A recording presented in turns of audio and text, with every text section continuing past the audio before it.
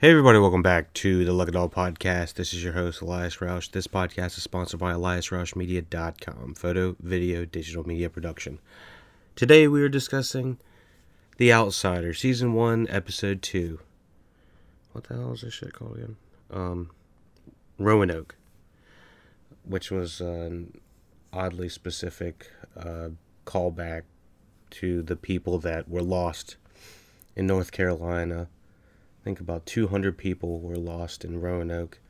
Just up and left or disappeared or something happened. We don't know. But, anyways, here's the synopsis Ralph admits to being baffled by conflicting physical evidence. An unexpected tragedy throws the investigation into a tailspin. Glory tries to soothe her daughter, Jessa, who says there's been a strange man in her room at night. So, a couple of the predictions that we discussed in the first episode one, I discussed the brother of the grieving family, the victim's family. He ended up uh, going off and he shot Terry. And I kind of was when I first watched it. I watched it the first half of this episode, and then I came back and rewatched the entire thing, and I was like, "Holy shit, we lost Terry." Kelly was the one that was like, "Yep, he did." I was like, "Oh fuck."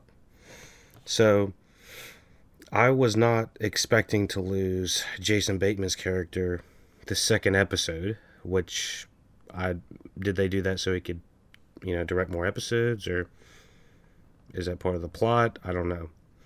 This episode was told in sequential order, as in, like, it wasn't all jum- jumbled up and whatnot. Uh, the family of the grieving uh, victim has lost the the original son that was killed in episode one.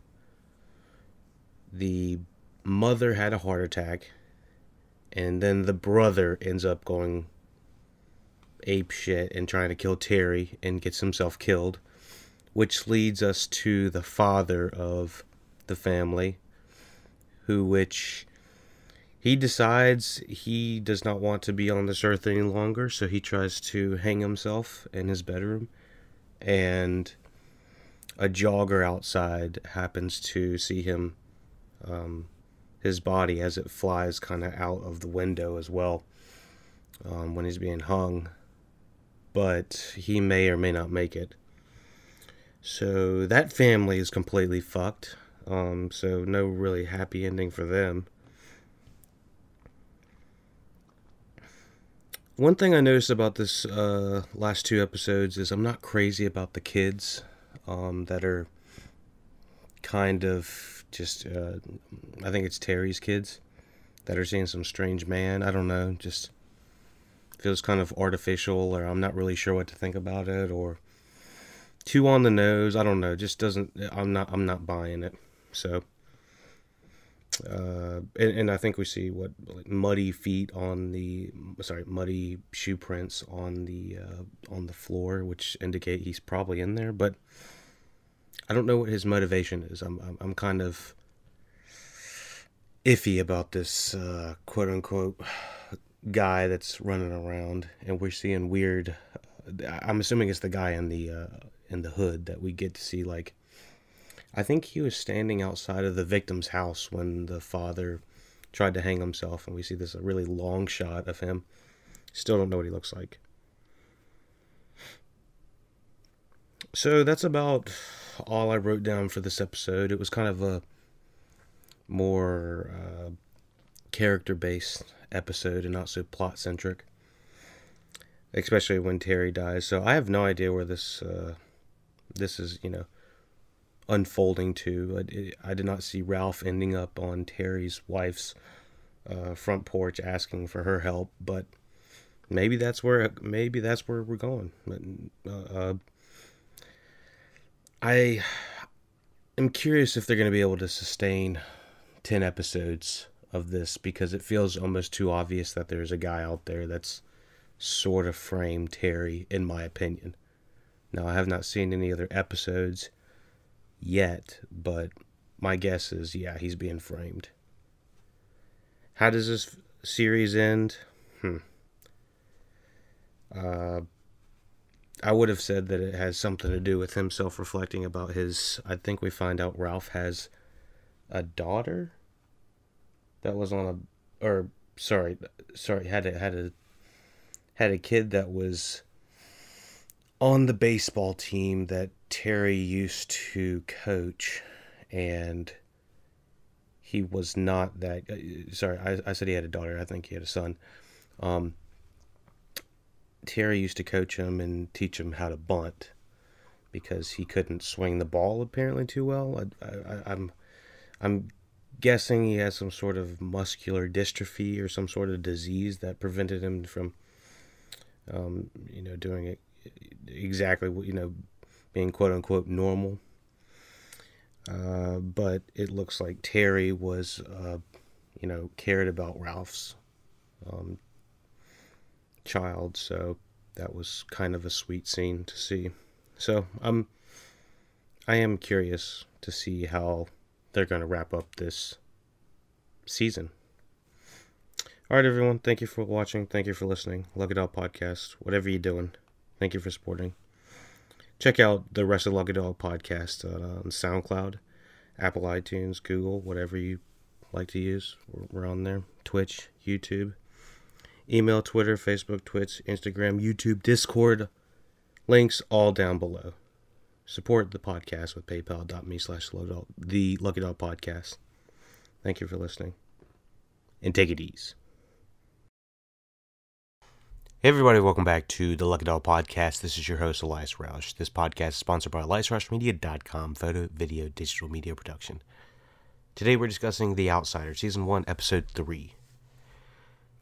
So, uh, did just want to cover a few quick notes on there. I realize this show is coming out week to week at the, at the time we're recording this, and I believe there's about six episodes available right now. So, uh, kind of taking my time a little bit releasing the podcast, mostly because there is the week to week format.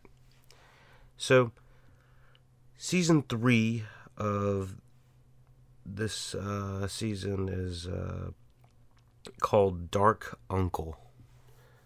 And I'm trying to think of what that would correlate. I might have to, you know, look in the comments or look at some other podcasts. I'm not doing any other uh, research into the show outside of just watching it and recording notes.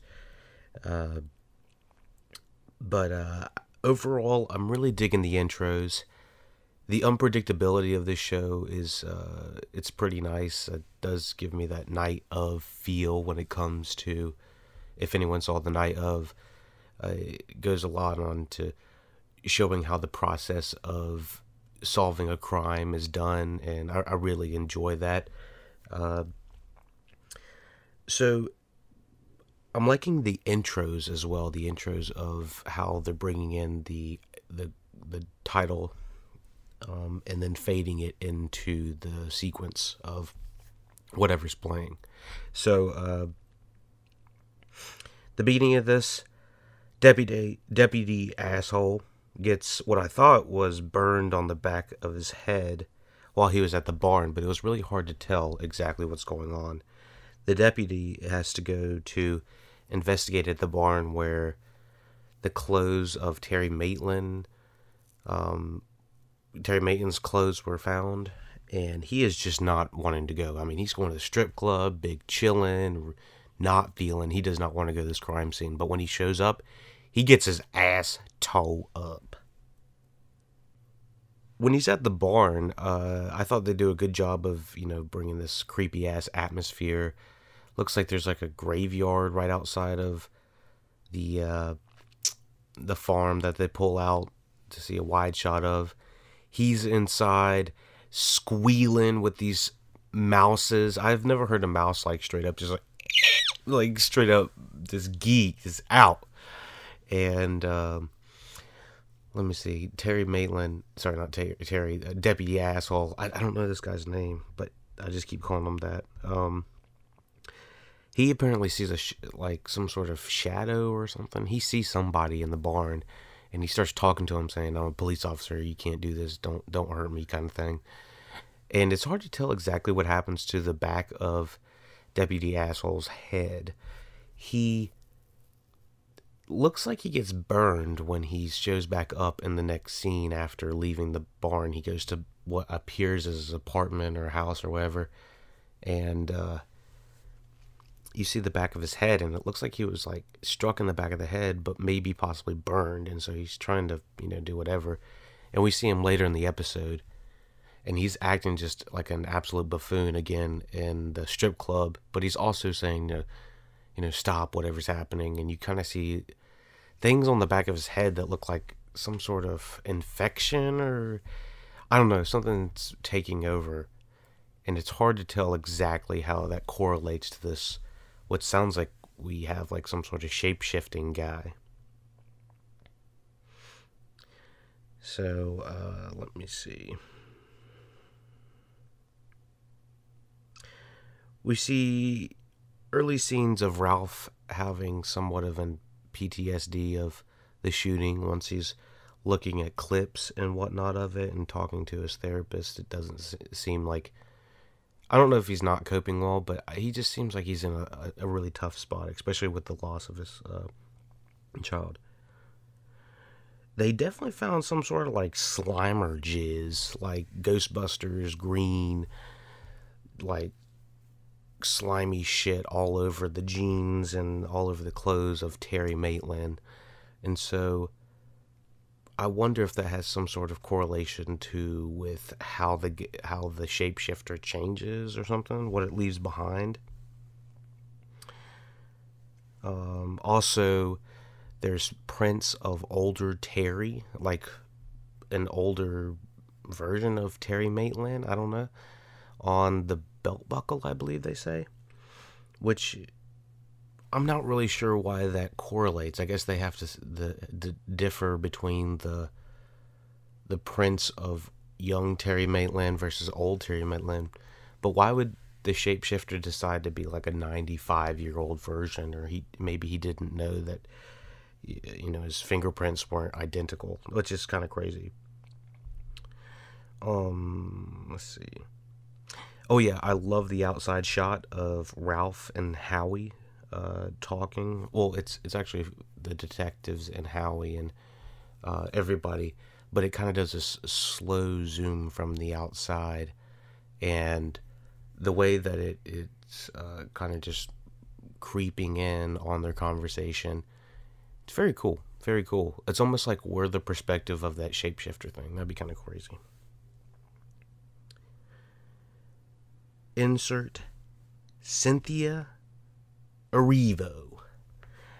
We all remember Miss Erivo from, well, she's very well known in Broadway, but she's also very well known on the big screen in The Bad Times of El Royale. I love this actress. She's a very talented actress when it comes to, well, I think she recently just played Harriet Tubman, which was, I didn't see the movie, but I heard it was okay she did a lot better than the actual movie was, but she's always glowing in everything she's in. Bad Times at El Royale, she had to really carry a lot of that movie on her back, and she did it with, you know, style. She did it with amazing choreography. She did it with she she can do the action, she can do the acting, she can do the dramatic stuff, she can sing. She's a very talented actress. And she's gorgeous on top of that. So she's got the full package going on, so I'm very happy to see her getting uh, some HBO work as well. So they give this character, uh, sorry, I don't even have the character's name up, um, Holly Gibney, uh, very interesting background, and I actually like how in depth they go with the background of this character of Holly. Um, it starts off slow by you know saying maybe she has some weird proclivities and weird things about her that make her interesting like she doesn't like to fly she doesn't like heights she needs to sit in a special seat at the bar and she knows random stuff like you know, when is May 5th and 40 years or something like that. It's just like, you know, what day does it fall on? Just ran just random shit. Uh, she's she's almost uh like a Slavon. Is it called a Slavon or something like that? Where you, they're like super smart, not quite all the way there socially, but like have like super amazing uh, abilities to just know random things and sometimes never forget. Like it's like I, I don't know if it's a combination of all of those things or what. But uh, I'm glad that they didn't just make her the random quote unquote magical person of color because that tends to happen a lot in uh, Stephen King uh, novels and just uh, horror and you know just theatrical stuff in general. I mean, bring the person of color in and eh, think of like The Shining or something like that. Uh, let's see. We have more therapist scenes. I thought it was the thing about this uh, series is they find ways like the therapist scene to make it interesting by shooting it in interesting ways. Like the camera will be set up behind uh, the stairwell, looking in on Ralph and the therapist on their conversation. Now, there's a hundred different ways they could have shot that, but I thought that was one of the most interesting when it comes to still seeing his his depression. You can, even though we're watching the majority of the side to the back of his head, we can still see he's he's laying low and sagging it like it's he he's not making full contact with the therapist until half you know partway through the the conversation and then the camera turns to uh, the just showing focusing on the back of Ralph's head and keeping the therapist out of focus a little bit to the right of the screen, which still very interesting. Kind of reminds me a little bit of uh, Tarantino in the way that he would shoot the back of people's heads and have some interesting uh, camera work. I think the camera work in cinematography in this has been uh, quite impressive. So uh, let's see. This is this therapist scene. We also hear about uh, you know how he was coping with the loss, I believe, of his son, and uh, we get the scene of him back in the bar fighting. And I think this fighting shot is kind of weird. I don't know if it's because it's kind of talked about in a way of like a dream, but uh, Kelly noticed it as well, and she said that it looked like that they had shot it either on green screen, like when they they're shooting it practically in front of the bar when they're showing when they're pu- pushing in on the glass. And maybe somehow that's talking about his alcohol addiction away in a way. There's a lot of shots about hands and uh, glasses and stuff like that in this episode, but uh, it's pushing in on the uh, the glass, and then uh, Ben Mendelsohn comes around the bar and he joins that fight that's going on, and it looks like it's shot in like a different frame or something, a different speed, or almost like there was a green screen behind the bar, and then he comes back and drinks the rest of the I mean, after he whoops those guys' asses, and then he go, he comes around and gets the rest of his drink. But I guess it's just showing that he's been kind of an angry guy all uh, for a long time. Because it looks like he has no correlation to those guys. I don't even know. Um, let's see. Mm-hmm. We also get this side story of this this guy in jail. I'm still trying to figure out exactly what's going on. I didn't I didn't go through the wiki uh, plot or anything like that, so I might need to go look. But this guy's apparently a, an accused child killer, possibly killed the two young girls, and he's getting mail that is threatening him, and so it's he's decided to break his glasses, turn it into some sort of uh, sharp shiv or something. I don't know how to exactly. I, I don't I don't know. It's not a shiv. It's a, a I don't know. Just a piece of glass that he sharpens up and ends up instead of uh, letting these guys come kill him, he ends up taking his own life. But the way that is shot, it's like holy shit. It's just scary as fuck. Just the way the the the pol- not the police, but the the guards are just opening the different cells and you just watch these doors open and you think about it like those doors are not very useful if they aren't locked in, in that scenario. So it's like I thought he was going to go out battling, but he ends up taking his own life. So I'm still kind of confused about the relevancy between that guy and uh, Holly's character. Maybe they're related in a way, but still, in a way, it didn't make 100% sense. But the way they were editing between it, they have some sort of uh, relation. Let's see.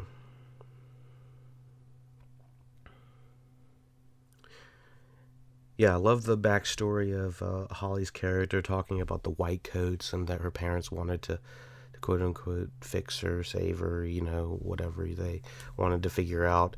Um, but really, nothing was wrong with her. Maybe just, uh, I don't even know what, what it would be called.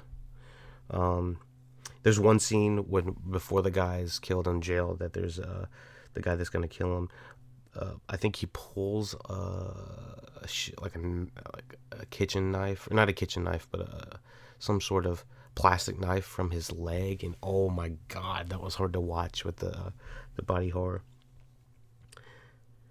Jessa, oh my gosh, still on her bullshit. Let me let me just tell you that Jessa claims to tell everyone that this blurry man, I guess we'll just call him the blurry man uh, showed up at her place four times. The first time looking like Terry. Second time, he was trying to make her cry.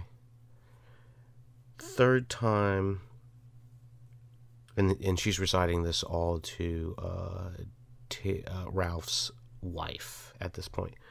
And the third time, he shows up looking blurry which explains why his face hasn't really looked the same since we've seen him. And I don't really recall if we got to see him in this episode at all, uh, outside of it being out of focus, maybe. And then the fourth time, she says that he showed up muscly and inky. Uh, so maybe he's taken on the form of the new deputy asshole. Um, I'm trying to figure out exactly if he's taking the form of these people or if he's taking control of the people. I got questions. And I was talking to Benz, my, uh, another buddy of mine. He's been on the podcast before. He was on uh, Mission Impossible Fallout podcast back in the day.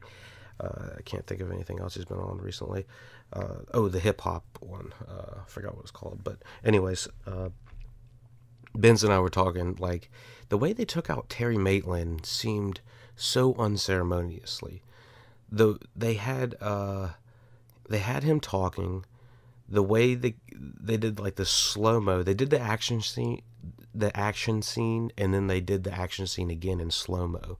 And the way they did it slow mo made it seem a little bit more dramatized, as if we're gonna see something else that we didn't expect to see. Uh let me think. Oh, maybe he's gonna see that that guy there, the blurry guy, at at the uh, the shooting, because I'm pretty sure he was at the shooting. But uh, let me think. So, anyways, the the way they took out Terry's uh, character did make it seem like he was going to live, and the way the rest of the episode played out was no one was talking about Terry except for the doctor and his, uh, his wife saying sorry for your loss. And I was just like, wait, what? They they didn't even show Terry like really dying. I mean, he was dying, but we didn't like see a body or anything like that. I was expecting so much more, a funeral. Uh, just I don't know. I I felt like it was just kind of swept away. It's like okay, on with the case. So, anyways, that's about all I got for this episode. Um, let me see. Uh, I'm assuming the blurry guy is now taking on the form of the muscly asshole. Muscly asshole. Sorry, I'm saying muscly. uh, and he's trying to make Jessa angry for some reason. And I remember Jessa says like, "Y'all are the ones that are supposed to be scared." This guy almost reminds me of like the Boogeyman or something. I, I, I don't even, I'm not exactly sure what to compare him to. I want to know what his, uh, why he wants to do this, why he's terrorizing these people. So the um, creepy mall security guy talking to Cynthia, uh, or sorry, Holly. That guy was kind of weird. I remember him from uh, House Cards. Maitland's father, Terry Maitland's father, was in, was interviewed, I guess, swarmed by the police and sorry, not the police, the detectives and reporters and whatever. Uh, way when Terry was already uh, brought in, and I guess they don't have the news that Terry was taken out. I, am I guess I'm kind of confused to how long the timeline has been since the original killing. Is it a week? A month? I'm, I'm kind of confused. Um, I liked the rapport between uh, Holly and Ralph's character when she said it's good to hear someone that's on her side. Sounds like she just needs someone to talk to sometimes. And uh, yeah, we talked about what happened in the jail, and then I wonder how that's going to affect uh, the rest of the detective work or whatever. I, I, I'm I'm kind of unclear how that has anything to do with anything. And uh, asshole uh, detective deputy asshole is uh, probably the blurry guy in some sort of manner. We got to figure out exactly what what that means. Though, is he taking over the form of him, or like when he was getting like whiplashed in the you know pistol whipped in the back of the uh, barn, it was it was kind of hard to see exactly what was happening to him. I've watched it twice, and it still looks like he was just burned. So I got questions, so many questions. Thank you for watching. Thank you for listening. Lucky Dog Podcast. We cannot do this without you. If you have comments, questions, concerns, you know what to do. Lucky Dog Podcast, gmail.com. What do we have? Email the Lucky Dog Podcast at gmail.com. Twitter, Lucky Dog Podcast. Facebook group link is down below. Twitch link is in the description. So is the Instagram, YouTube, and Discord link. Join the Discord. We would love to have you in the chat. Talk to everybody. Talk to everybody that likes to talk about movies, talk about TV, talk about bullshit, talk about whatever's going on. The Blurry Man, whoever, who knows. Uh, but the Oscars are coming down. Might have a little discussion about that in the aftercast. Be sure to check out the aftercast number four. Aftercast number five will be coming down soon. The aftercast just discusses a little bit of behind the scenes and non movie related stuff, uh, non movie review related stuff. So, yeah. Thank you for listening. Thank you for watching. Lucky Dog, Lucky Dog Podcast. I can't talk right now. All right, everyone. Take it easy. Hey, everybody, welcome back to the Lucky Dog Podcast. This is your host, Elias Rauch. This podcast is sponsored by EliasRauchMedia.com, photo, video, digital media production. Today we are discussing Season 1, Episode 4 of The Outsider. This episode is named Ken Vin El Coco. I apologize if I got that wrong, but that's how I'm going to have to roll with it at this moment until I get corrected. This was directed by Andrew Bernstein and it's written by Richard Price, based on the novel by Stephen King. I don't know if I mentioned it last episode, but the last episode was also written uh, and directed by the same crew. it's somewhat of a transition from the Jason Bateman style of directing, but I can still tell that they're taking up very much of the same cinematography, same language, same uh, same atmosphere. Episode four. While retracing the Maitlands' recent family vacation, Holly pursues a possible connection to an eerily similar case and gains valuable insight from the local former detective Andy Katcavage. Glory faces increased scrutiny in her daily life. So this was an interesting episode. It still continues on this very much uh, police procedural from a different perspective. The first two episodes were so very much Ralph centric and Terry Maitland centric that I'm liking this divergence in uh, perspective telling of the case following uh, Cynthia Erivo's character, Holly. it definitely leads for much more broader storytelling, especially in the ways that Ralph is uh, dealing with the case versus how uh, Holly is dealing with the case. At the beginning, she gets pepper sprayed by the lady that she was trying to talk to at uh, the living facility. I want to correct myself that the guy that was in jail was accused of killing two girls. He was working at the nursing home that Terry Maitland's father was staying at. In this episode, we really figure out that there's a there's a commonality between all of the murders. The initial murder happens, and then we find we find out that there is a, a, string of people that have come in contact with this murderer that have also committed other murders. And so there happens to be this young lady that was in contact with the nursing guy. Um let me see. Uh the nursing home guy and then the nursing home guy was uh, had bumped into Terry and all of them have scratched each other in some sort of way, like an odd like way when they're bumping into each other, as well as Terry bumping into the strip club guy. So, should we look out for the strip club guy possibly being the uh, uh, one of these shapeshifters or whatever this murder virus is or whatever this is supposed to be? Also, we got the Boogeyman name check. I just want to say that I did not see this episode before saying the Boogeyman in episode 3. So I was very pleased to see that. So at the beginning, she gets pepper sprayed by uh, that uh, one worker. Find out about the uh, nursing guy bumping into Terry that day.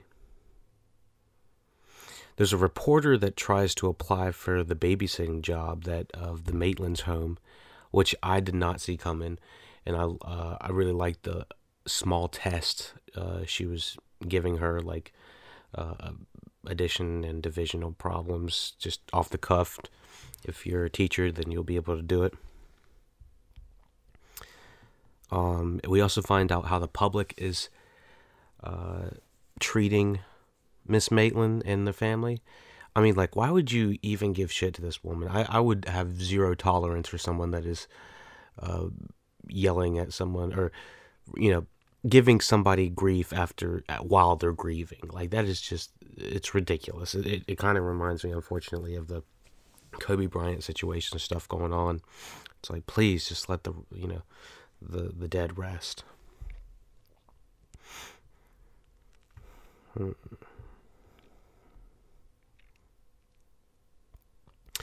Cynthia's conversation with uh, Terry Maitland's father is pretty random. Um, the majority of stuff, he's just like, "Oh yeah, I've seen you before." He gave you a good smack, and he's talking about like some lady that he saw abused. I was like, "What is he talking about?" Just rambling. And basically, Mister Senior Maitland was saying he didn't do it, and you know he didn't do it. It makes you think that he might be just a tad bit there despite him losing his memory. So we I need to go back to see the first episode, but did uh I'm trying to remember if the club guy said that he got scratched by Terry when he was giving him a, a shake or something like that. I don't I don't remember that exactly need to go back and check uh, episode one one more time for it. So, Detective Asshole buying a bunch of lights and shooting a deer. Is this for the boogeyman thing or who? What the hell's going on over there? Is he going camping? Is he starting his own little Walmart for homeless people outside? Like, what is going on over there? Like, I trying to figure out what what the hell's going on. Um, the mall cop we find out that goes out with Cynthia Erivo is an ex detective, and he did have a thing for her, and I think they were kind of cute. It ends up that he happens to know a little bit of Lithuanian or something like that. I, I don't remember if he explained why he knew that, but of course, they sort of hit it off. Um, they go on a date, talk about uh, previous, uh, you know, murders and stuff like that, just craziness. Um, we find out her mother died. And uh, what else? The brother of the nurse killed himself too. Yeah, oh yeah, sorry. The brother OD'd. Sorry, the nurse that worked at the Maitland's uh, establishment, uh, the, the Maitland's uh, uh retirement establishment, the brother OD'd, and then we find out the mother killed herself in a car wreck, and so we find out that essentially whatever this is, this entity is causing people to one get devoured, and then the people around them are just self-destructing in some sort of way, and it's very similar to what happened to the Petersons and uh, the the original murder, and and sort of what's happening to the Maitlands. It's it's like a domino effect, which makes me wonder what the hell is the club owner gonna do? Like, is he is him and uh, you know detective deputy asshole is are they gonna be doing something together? Like, I'm I'm curious what the what the deal is and uh, I keep calling him Detective Asshole. I think his name is Jack or something, but you know that's just it's too easy not to. Uh, and actually, that actor Marc uh, Menchaca playing Jack Hoskins, Detective Asshole is what I'm calling him. Uh, but Marc Menchaca was actually an excellent actor on. He has been excellent on this, but he's even just as good as uh, he was on this on Ozark again with Jason Bateman. So, uh, what else do we have? Um, yeah, the club owner, got to keep an eye on him. There's an excellent, excuse me, there's an excellent uh, scene of young Holly I think in the MRI machine, and she's kind of scared and whatnot, and she turns to her side, and uh, we are the perspective of her grandmother, and her grandmother hands her a, small doll, and she's having all of this as a flashback in the back of a, a, a taxi, I believe, on the way to see uh, that lady in jail or, or uh, in that establishment, uh, the asylum or wherever she was. But can have are we confirming that Cynthia Erivo has some sort of connection? I'm not sure if I wasn't going to say connection to the dead, but she has connections to another side. She can like t- teleport, transport stuff. Like that's pretty cool, and I love the uh, effect that was. I, I love the effect they used. It's very practical. Just having her grandmother's hand kind of reach out around her and uh, you know hold her face. Um Hmm, let's see. Cynthia Erivo's character also ends up getting a note from another lady that is in the uh, jail cell. Um, and we also see that there's other ladies in that jail trying to uh, attack the one she's currently interviewing. Um, but one of the other ladies that was not in jail gives passes her a note, tells her to I guess come up to her apartment and have a conversation, and she tells her uh, about El Gordillo or El El Cuco or or something like that, uh, aka the boogeyman or whatever this is. And it seems like it's some sort of mythological creature, idea, or figure that is eating the child or the children and then devours the grief uh, on the family. And so that's kind of a pretty big deal. And I'm like, oh shit, I, you know, how are you going to lock up the boogeyman? And what does that have to do with Detective Deputy Asshole? Like, I've got a lot of questions. So yeah, I'm I'm I'm pretty pleased with the way this uh, season's going. I do want to just start five and then just plow through it, but we still have uh, another month before all of it's going to be dropped. So looks like it's going to be hitting that week to week. You already know what it is. So check back in for the next podcast of The Outsider. If you're interested in more reviews, check out uh, like the Lucky Dog podcast, uh, SoundCloud, Apple iTunes, Google Play, whatever, YouTube. Um, we have reviewed Ad Astra. We have checked out Bad Boys for Life, 1917, Hustlers, The Witcher, Top 10 Films of the Decade, Watchmen Season 1, Mr. Robot, You Season 2, Star Wars, The Force Awakens, and even The Last Jedi. Check out the Uncut Gems review. Tons of podcasts for you to check out. I think close to 300 plus. I don't know, something around there. All right. Well, thank y'all for listening. Thank you for supporting, watching, listening, whatever you're doing, supporting the podcast. Five stars on iTunes really helps us out.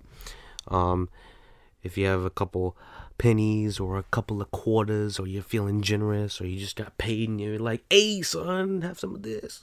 It's like, okay, we'll take just a little something, something, something. You know what I'm saying? Uh, um, PayPal.me slash the, Lucky Dog Podcast. The link is in the description. Thank you all for supporting the Lucky Dog Podcast. We cannot do this without you. Thank you and take it easy.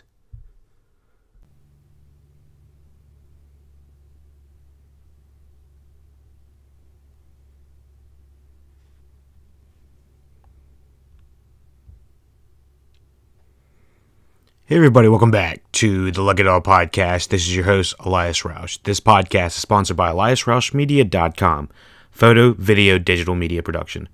Today, we're discussing Season 1, Episode 10, season finale of The Outsider. This episode is directed by Andrew Bernstein, uh, written by Stephen King, based on the novel, and uh, we have Richard Price returning on the screenplay as well. So, one thing I've noticed over the past couple episodes, you'll notice that we haven't had a, a review since about episode 4, I believe. I'd say the first half of this season was a lot stronger, in my opinion. Um, it was the introduction. The first two episodes were the setup of the Terry Maitland story, but it's really Cynthia Erivo as Holly Gibney. This is her story. This really is. Episodes 2 through 10 were pretty much uh, majority her story. And granted, I don't think. Oh, sorry, I said 2 through 10. I think I don't even think she comes into like the third episode. Um, but she is one of the most fascinating characters on screen. And just like the rest of the gang i would say that the majority of the cast did a knockout standout job. Now that's like saying you know uh, you know a, a good actor did an amazing job. Well these are all uh, sorry a veteran actor did a good job. It's like well you expect you expect a veteran actor veteran actor to do a good job. So um you know ben mendelsohn cynthia erivo bill camp uh, even Jeremy Bobb, character actors like Jeremy Bobb. I mean, they play such naturalistic characters. It feels almost effortless for them to be in this, which makes it a little bit more difficult for me to say that I had slightly more gripes with this finale than I was hoping. I'd say 90% of the entire series um, I'm gonna do talk talk about all of this series and spoilers of uh, this episode as well. So if you haven't seen it, uh, please go back and uh, either watch it or um, get refreshed in some way. And by the way, uh, there is a post credit scene after the credits, so be sure to go back and check that. Originally, when I was watching it, I did not see the credit scene, and I had a podcast say uh, give me the heads up. So I wanted to do the same for everybody else. Um, so this episode, well, let me do a, a, quick summary of the season. A summary of the season is this is an amazing looking, uh, an amazing looking uh, piece of television. Uh, the cinematography and the use of uh, shallow depth of field are very notable. I think the writing started to become a little sloppy around episodes four or five. As a matter of fact, I went back and looked. We lost Richard Price after uh, episode four. So to break it down, Richard Price, the creator of um, of The Night of, and he's also a writer on uh, The Deuce and The Wire, uh, among other things. Um, and like I said, The Night of, one of the better HBO television shows with Bill Camp in it as well. Richard Price created the first and wrote the first four episodes of this series, and then he came back for the last like one or two episodes. I, I believe he might be credited on some of the final episodes, um, but there are additional writers that came in and helped him around five, six, seven, eight, and for me personally, I still think it looks, you know, like a million. But this is one of the better looking uh, crime drama shows that I can tell was done on a, a moderately lower budget. I, I, really could tell that this was using, a, you know, really amazing shallow depth of field and cinema, uh, uh, you know, spicy cinematography. But this was done on a lower budget than what most HBO shows are produced for. Um, let's talk about the synopsis real quick. The group finds itself in a climactic showdown in their last ditch, desperate attempt to root out El Cuco. Now, I think it's around the first two episodes are the story of Terry Maitland. The episodes three through five are Holly figuring out who and what El Cuco is, and then episodes six, seven, eight are um, are are one of our characters, Jack Hoskins, um, basically, uh, I don't know, over overseeing what's going on and trying to interfere, or El Cuco is trying to interfere with the uh, with the crimes that are going on and with the case that is trying to be solved, and so I definitely feel like there's this really big. It, it's definitely a slow burn for the majority of the season, but it also left these little breadcrumbs that made you really want to watch the next episode.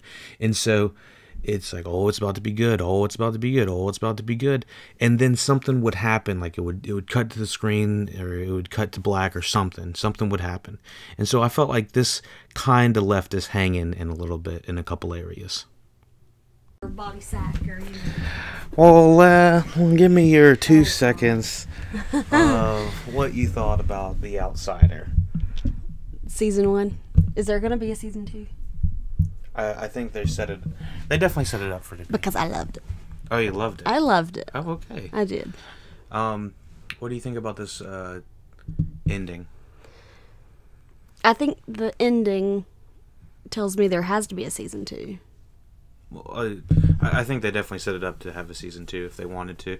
Um, my question is, how do you feel about them wrapping up all of the plot lines? You got the lawyer, you got was, Andy, think, you got the I think cops. At, at, the end, I got a little confused about how they were going to convince everyone that Terry didn't do it. Mm-hmm. Did they? Or is it like a? I think they convinced everyone, but how? My, I'm not sure if I if I enjoyed the fact that they decided to bury it, quote unquote. Yeah.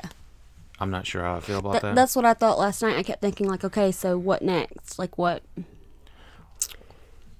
I wanted there to be slightly more uh, of a connection with uh, Ben Mendelsohn and him losing his son and the connection to El Cuco. And I felt like there was no connection.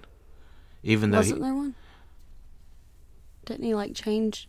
He try. I think he tries to change into his son, but he Ben Mendelsohn sees. Uh, what's his character name? Um, I honestly don't remember anyone's name except for Holly. yeah, I just feel like someone, everyone was yelling Holly at some point. I feel like she Ralph. was. I feel like Ralph. she was the most captivating character. Yeah, yeah. For me. Yeah. Uh, what I basically boiled it down to was the first two episodes are like the prequel to the eight episode story that is Holly's. Because mm-hmm. this movie, this this sorry, this miniseries was Holly's. Mm-hmm.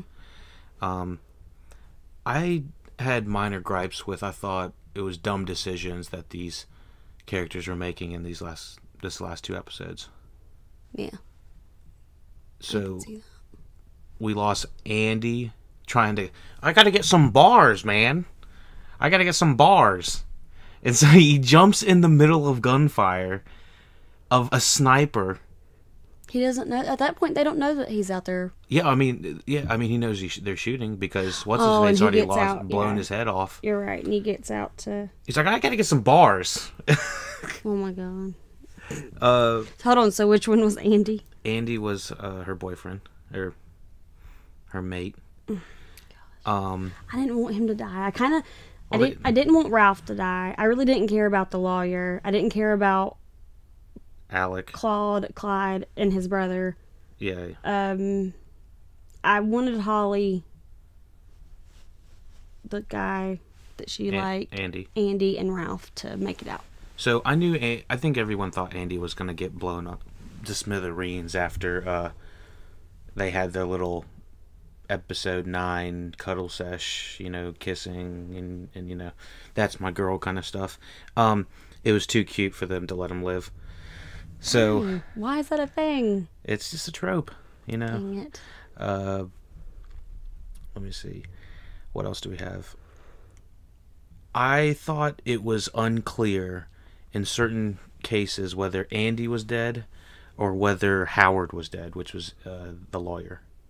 You remember I kept asking, I was like, is Howard dead? Is Howard dead? Because it never.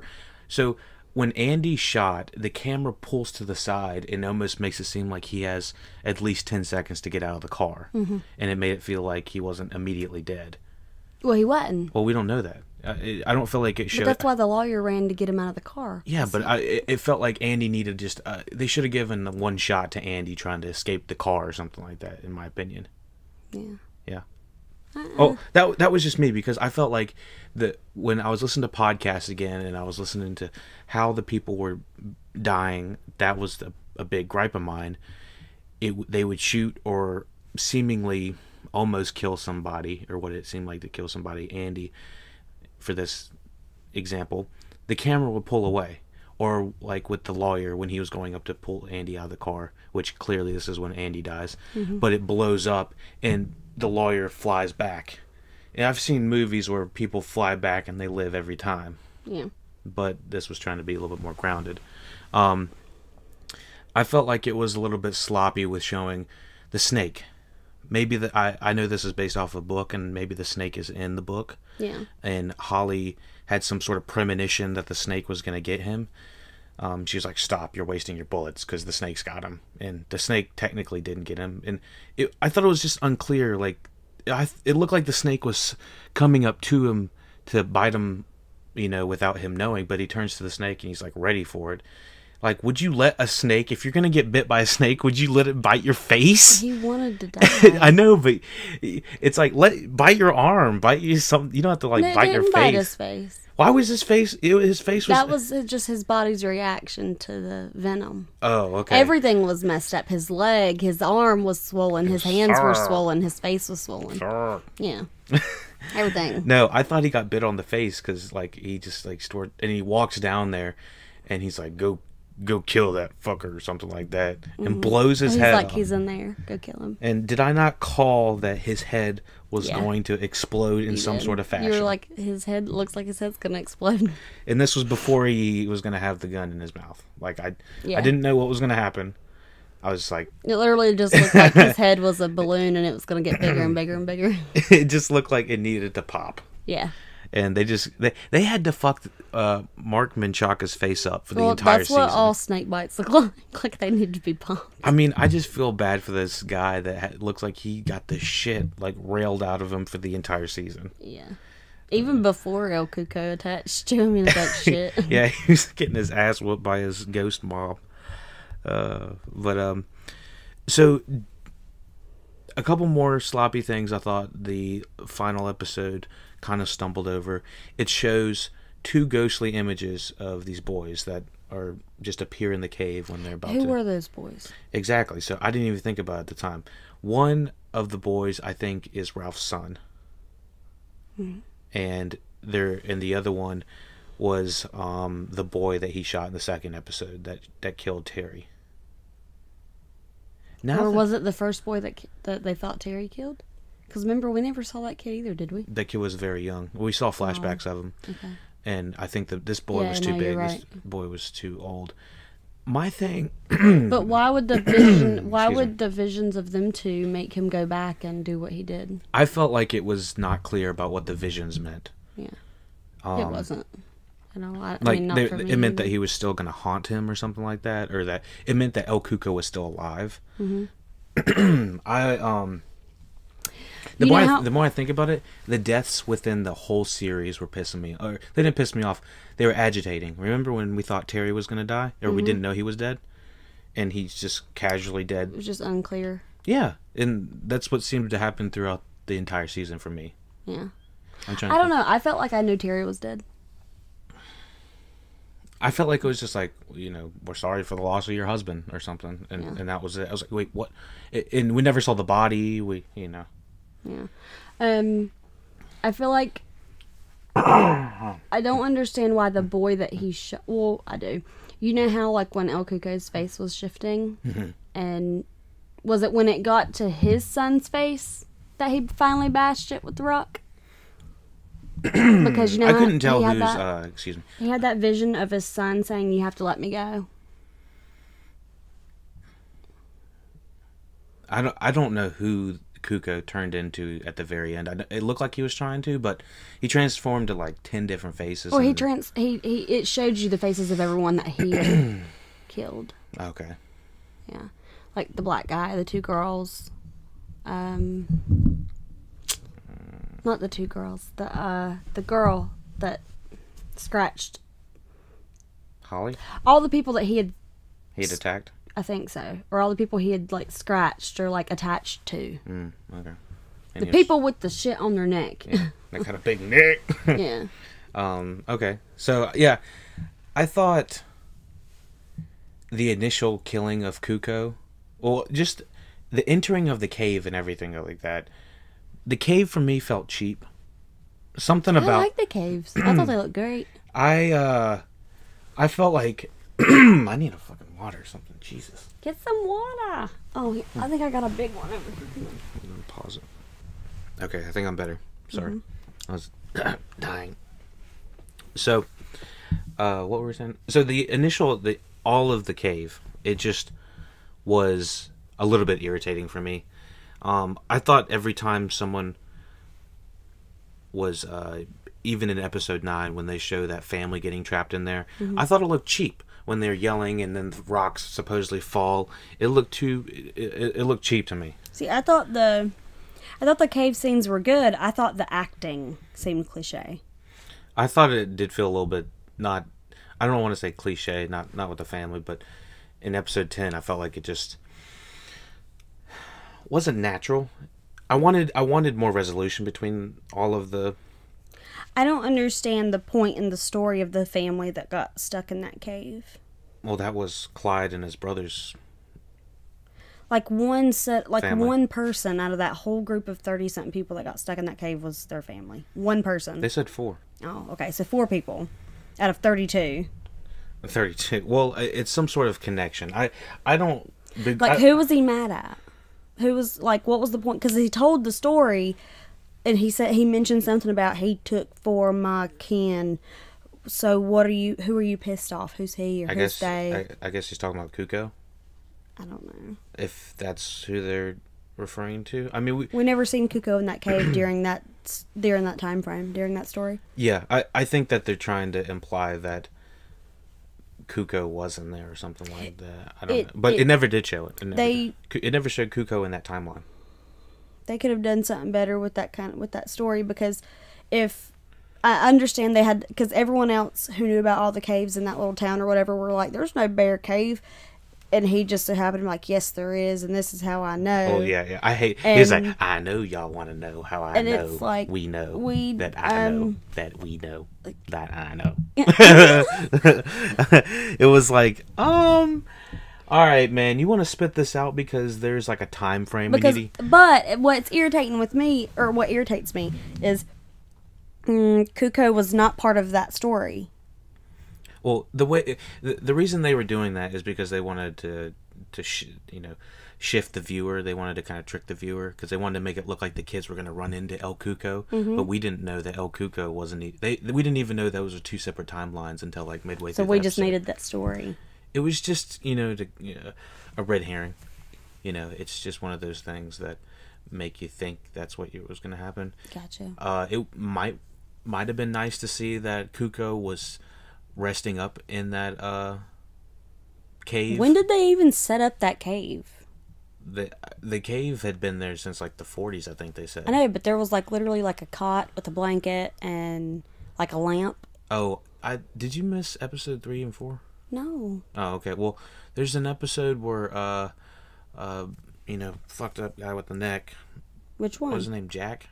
Mm-hmm. I, I think his name's Jack. Yeah. Um, he's running around like IKEA or something like that, buying a bunch of lamps and a bunch of like home supplies, Oh. and taking it to the forest. Um, I think that's episodes like three or four when he's There- being but so how? What are you plugging the lamp up to? I don't know what he. I don't. Maybe a generator or something sort. I didn't. I don't know. Like, Okay. There, when you start getting into the logistics of why does the devil thing even need a lamp and does he even need to sleep? Like, what does? I don't know. They when you get down that rabbit hole, it makes things a little bit too difficult. It's like I didn't like the reason that he said that he chose kids was for the flavor. I wanted sweeter. Yeah, I was like, that's something Um, it would say. Yeah. I mean, I wanted something more psychological. my thing is, is you're sitting here freaking out like I need to eat. Well, you know, adults have, like, would probably sustain you a little better.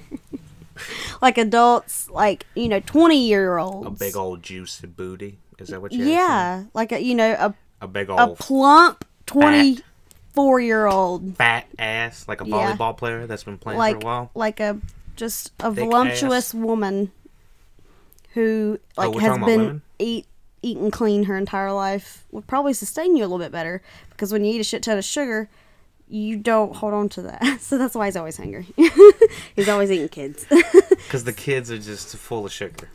he said they're sweet Oh, well, it makes sense because, I mean, kids eat like 90% sugar. yeah so that's why he's always hungry All right. Well, um, let's talk about this final. for anyone who wanted to look at it from a medical standpoint All right, last last two things. We're gonna talk about uh, the final scene with Holly and the scratch. But before then, I want to talk about the the women of the show. That they seem to have a lot of time. Uh, when not not Holly, sorry, I'm talking about the mothers. I don't like that his wife wasn't a part of them finding Cuco. I do feel like it was kind of a drop ball that they have her interact with Cuco and not go on Yeah. some sort of excursion. I don't Yeah. know what I I don't think I would have wanted her out there in the middle of gunfire, but maybe have her stay at the hotel and maybe look out. I, f- I feel like they were just left out of the mix. Stay at the house, and then if we're not back by tomorrow morning, come look for us. Well, she was at the house. No, no, no. The house in Tennessee where they were. Oh, okay. Yeah. I, I just thought that Terry's wife maybe deserved a little bit more of an explanation. Yeah. And she did say to her, I think, don't talk about Cuco's, don't talk about, you know, what, what actually happened. Because I think Terry's wife had to cover it up as well. Hmm? Cover what up? Cover up the fact that there's a Cuco. Why? I didn't catch that. I didn't catch that part. Well, immediately after the the thing, uh, she and Terry's wife, I believe, are having a conversation about don't talk about Cuco's, don't talk about any of that. And they have some sort of resolute ending. I, I remember the resolute ending, but I don't remember her saying "don't talk about it." I remember her saying like, you know, even if I don't believe in it, or even if I don't want to talk about it or believe in it, I respect your beliefs, or I expect what you know. You, th- I don't know. Right, and and that's what I. I just feel like for the. F- I don't know. I feel like they were coming together to to really resolve something, and I feel like we were left dangling. Yeah, this whole there, that's not in here. What? The scene you're looking for with the It's not in here. Yeah, it is. No, it's not. Don't talk about a Cuco. Yeah. Yeah, it is. Okay, well then I missed a lot more than you showed me. Well, this is just the very end when when the ladies. Yeah, I didn't see this. All right. Well, The the conversation I'm thinking of is when Terry's wife shows up at Ralph's door, and when the door opens, she goes, "I should have called." I should have. yeah. So I haven't seen any of this. I didn't see this stuff. Uh, well, it, it's just them like uh, talking about what didn't actually happen. Damn it! I fell asleep. Yeah, but uh, you really didn't miss much. They just essentially don't tell anybody about the Cuco Why? because they don't. Well, it's they find that it's going to be too hard to explain. Oh, see, I wanted this to be. I wanted this to end with all these people having either not getting justification or coming to grasps with this thing is real. That's what I wanted. Either you can believe in it and grasp it, or you can sit with your thoughts and not want to believe it, and oh well. I mean, that's essentially that's sort of what they did. The thing is, they didn't publicize it, Yeah. and so If I was Terry's wife, I wouldn't give a dang what anyone found out or didn't find out. I would be like, hey, um, so since you know something, you need to get all of this stuff about my husband killing a child, like out of sight. yeah, yeah, they they did. They did. Yeah, Oh. and and that's what the uh, the final scene with Holly is looking at um, an article Oh, of okay. Terry and everything. I, I think he's exonerated from that, Oh, okay. And uh, I think the district attorney or whatever, the guy at the Justice Department, Hmm. um, he's part of that squad too. I just very much feel like the Terry aspect of. I I think my ultimate grasp is that Terry feels like a forgotten plot line. It doesn't feel connected for me to Cuco enough because Cuco has gone through so many other families. Well, Cuco killed a lot of those families, and he didn't kill Terry. A gunshot killed Terry. He just witnessed it. I mean, Cuco was there when he died, but I wonder if Cuco the, didn't kill him. I wonder if Cuco caused the son to kill him That kid killed Terry because of grief. of his mom. but we know that Cuco was there. We know Cuco was there, but Cuco at no point did we see Cuco uh, have any kind of contact or like Control. entity over that kid. Yeah. I'm just saying there's a possibility. And this and this is when they're talking about exonerating um, Terry. And so I just I I don't know. I feel like there's so many other cases that we had to go through to find out the resolution to Terry's case that Terry's almost feels like a second thought or a last thought. Um, you know, we're because we're I don't even feel like I saw a picture of Jason Bateman in the last three episodes besides the last scene. Mm-hmm. And there's actually an, uh, a scene between Ralph and Holly, and she's like, "This might have been when you fell asleep." She's like, "You know, how did you?" I don't remember. He says, so- "You know, how did you know what it was, or something like that?" And she's like, "Because I'm an outsider, and he's an outsider." Who said this? um, Holly said this to Mhm. Ralph, and he, uh, Ralph is like, "Well, are there any more of them out there?" Mm-hmm. And Holly gives this like shrug Mm-hmm. and walks out of his house. Yeah.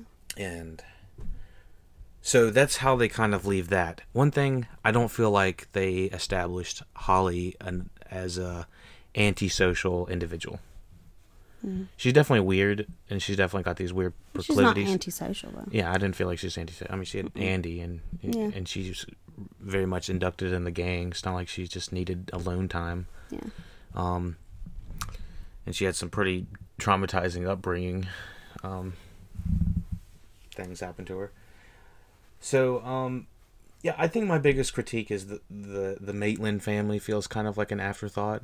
Mm-hmm. It doesn't feel hundred percent connected to the plot line of Cuco, Yeah, no, I don't think so either. and uh, you know that's it's not a, a in a way that it takes me out of the the the enjoyment of the. I keep saying I keep thinking of the movie, the miniseries. Yeah. Um, but yeah, what else do we got? Holly, she scratched. When the hell did she never came in contact with Cuco? So, is that scratch? Uh, uh, that scratch is. I mean, I guess it could have been from the rocks. Everyone I've heard is saying the rocks or Well, then Cuco. she wouldn't. If the if a rock scratched her, then she wouldn't have. She won't be turning into anything. Um, yeah, I mean the rock isn't gonna do anything, but the thing is, uh, oh, this is when she's talking about a man knows a man. Oh, oh, an outsider knows an outsider. That's what she says. Um.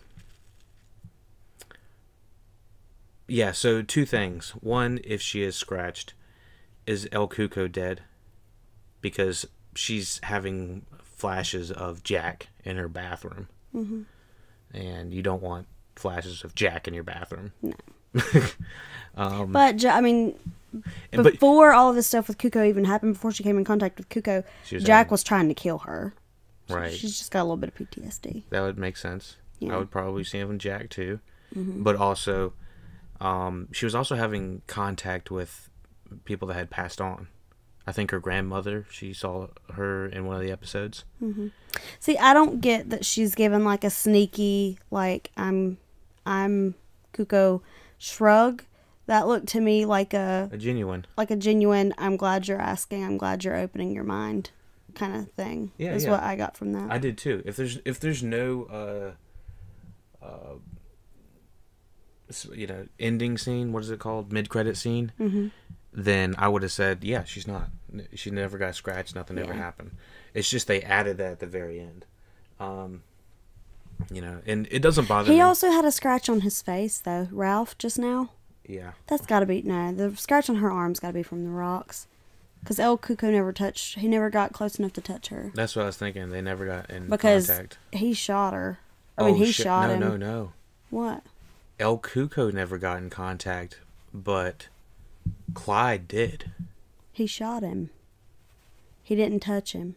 But Clyde was being helped out by Holly, Okay. and we know Cuco is still alive What are you talking about? in the cave. No, the person who is Cuco has to scratch you, not the person who they like. They think is Cuco. No, the person who is yeah. Cuco has to scratch you, or the or uh the, So, the, the- real person has to scratch you. Cuco, Okay, okay. not the person that he turned into. Because. I'm trying to think, if Cuco was the one in the strip club that sh- that scratched. That was Cuco. Okay, so that was Cuco, Mhm. and Because Terry was somewhere. The real Terry was somewhere else. yeah. So the Cuco or So Cuco has to scratch you. yeah. Okay. Yeah, I I it would bug me to see that Holly is um Evil. yeah, Which turn yeah, it would me too. or not evil, but you know, just under the possession of it cuz um she looks to see if she has the the thing on her neck and she doesn't. So, that's good to see. Anything else you want to add to this podcast? I did see that that last scene of her twirling her hair is uh, shown in reverse. I know some people. I thought that yeah. It I thought weird. so. For a second, I was like, that just went backwards. Yeah, uh, I I didn't notice it originally watching it. It was a podcast that pointed it out. So, It does. Looks like it goes in reverse. well, her hair is like dropped and it goes back in her hand or something Something like at, that. at one point. So, do I thought I thought I seen it, but then I was like, maybe I didn't. But Yeah. yeah, I, I definitely thought her hair, the twirling went in reverse for a second. yeah, it definitely did. Why would they do that? Sometimes it's uh, shots are done in reverse, and you got to just have a key nine to do that. Otherwise, something funky's going on. hmm Um, yeah, so that's pretty much it. We've covered season one of uh, The Outsider. I definitely want to check out a season two if we get some of these uh, fine actors back. Yeah. Especially Holly. Yeah, We have to have Holly. bring me some more Holly. Holly. Holly. All right. Check out the social media Twitter, Facebook, Instagram, PayPal, dot me slash Look Podcast, the Look Podcast for uh, all donations. Links are down below. Uh, Kelly, thank you for joining me, or just jumping on in. Thanks for having me. All right, everybody. For more Lucky Dog Podcast, you know, check out SoundCloud, It Up Podcast, and take it easy.